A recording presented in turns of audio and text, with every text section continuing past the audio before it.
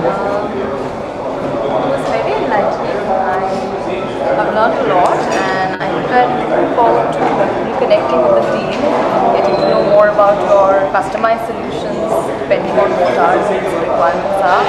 But it's great to see that you know there's so much work being done in the automation space. It's so required, very rightly said, inside the Founder.